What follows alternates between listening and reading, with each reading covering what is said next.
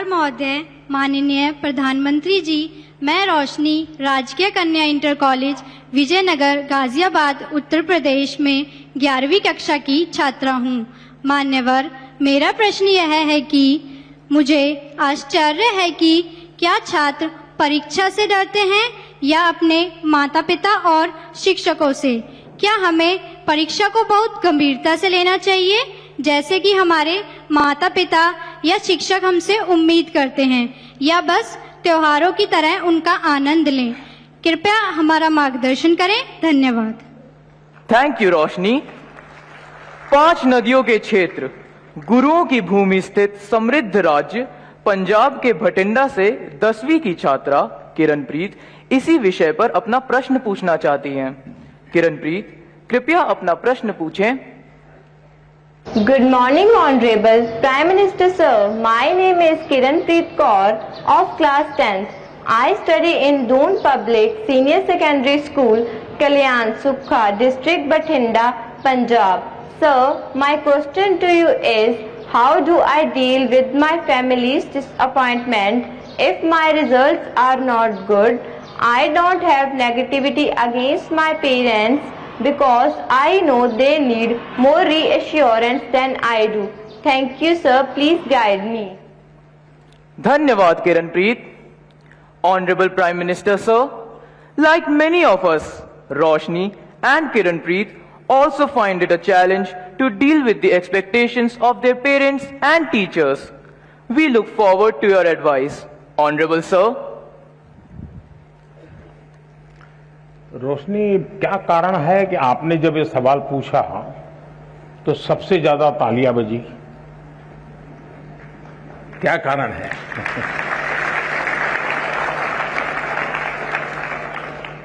मुझे लगता है कि आपने सवाल स्टूडेंट के लिए नहीं पूछा है। आपने बड़ी चतुराई से पेरेंट्स और टीचर के लिए पूछा है। और मुझे लगता है कि आप चाहती हैं कि मैं आज यहाँ से हरेक के पेरेंट्स को और टीचर्स को कुछ यहाँ से कह दूँ, ताकि आपके काम आ जाए।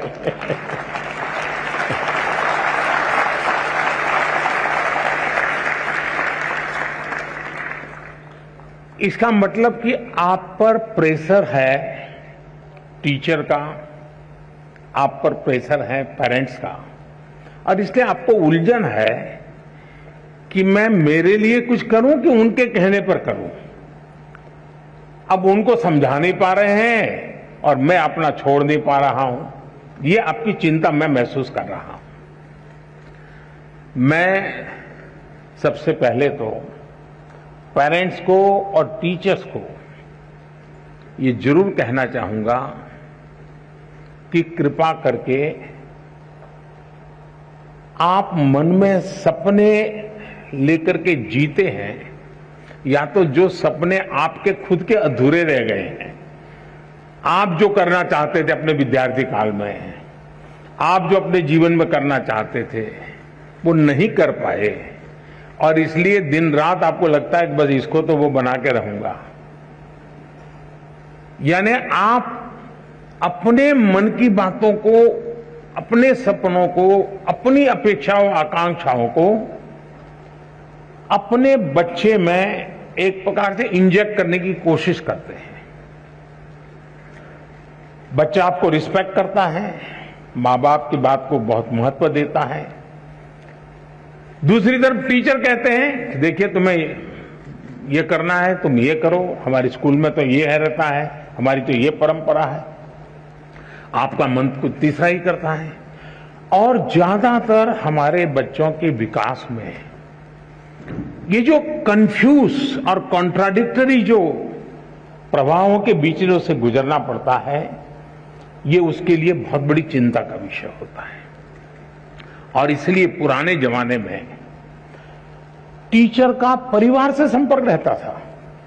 परिवार के हर लोग को टीचर जानते थे। और परिवार भी अपने बच्चों के लिए क्या सोचता है? उसे टीचर परिचित होते थे। टीचर क्या करते हैं? कैसा करते हैं? वो उससे पेरेंट्स परिचित होते थे।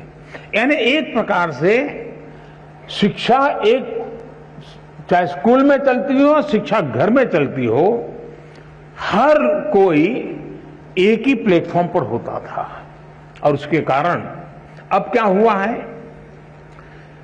बच्चा दिन भर क्या करता है? माँ बाप को समय नहीं है, जानते नहीं है। टीचर को सिलेबस से लेना देना है, मेरा सिलेबस पूरा हो गया, मेरा काम हो गया, मैंने अच्छी तरह से पढ़ाया। बहुत मेहनत करके पढ़ाते, ऐसा नहीं कि नहीं पढ़ाते। लेकिन उसको लगता है कि मेरी जिम्मेवारी है, सिलेबस पूरा करूँ। वो मेरा दायित्व है। लेकिन बच्चे का मन कुछ और करता है। और इसलिए जब तक चाहे पेरेंट्स हो या टीचर्स हो या स्कूल का एनवायरमेंट हो, हम बच्चे के शक्ति और उसकी सीमाएँ, उसकी रुचि, उसकी प्रवृत्ति, उसकी अपेक्षा, उसकी आकांक्षा, इन सबको बारीकी से ऑब्ज़र्व नहीं करते हैं। उसको जानने, समझने का प्रयास नहीं करते हैं और हम उसको धक्का मारते जाते हैं तो कहीं न कहीं वो लड़खड़ा जाता है।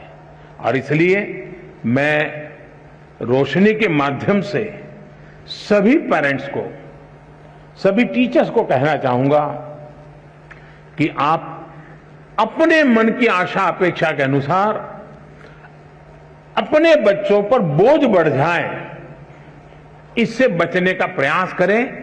उनकी और हर बच्चे के पास एक स्ट्रेंथ होती है। हर माँ बाप को स्वीकारना होगा कि आपके तराजू में वो फिट हो या ना हो, लेकिन परमात्मा ने उसको किसी न किसी विशेष ताकत के साथ भेजा है।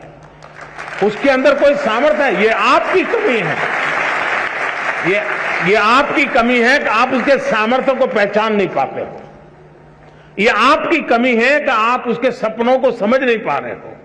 और इसलिए दूरी वहीं से बन जाती है। और मैं चाहूँगा बच्चों से कि आप प्रेशर के बीच भी। अब ये तो मैं नहीं कहूँगा माँ बाप का मत सुनो। मैं ये तो नहीं कहूँगा टीचर की बात मत सुनो। ये तो सलाह ठीक नहीं होगी। सुनना तो है ही है। वो जो कहते हैं उसको समझना है।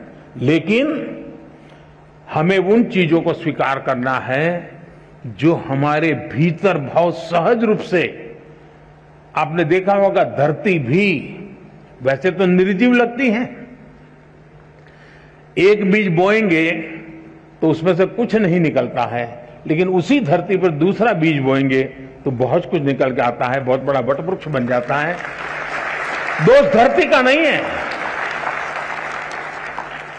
कौन सा बीज बोया है उस पर है? और इसलिए आपको पता है कि कौन सी चीज़ आप आसानी से अडप कर लेते हैं। कौन सी चीज़ आपको मन के साथ एकदम उसमें आगे बढ़ जाते हैं? आप जी जान से उसमें जीतते जाइए। आपको कभी बोझ महसूस नहीं होगा। और शुरू में शायद, शुरू में रुकावट आएगी, लेकिन बाद में परिवार गर्व करने लग जाएगा। हाँ हम तो सोचते थे कि इसमें ये बहुत अच्छा किया। आज तो हमारा नाम रोशन हो गया। चार लोगों के बीच में बैठते हो तो तारीफ़ होती है। जो कल तक आप कोई ताकत को स्वीकार नहीं करते थे, वो आने वाले समय में आप ही के ताकत का गौरव वहन करना शुरू कर देंगे।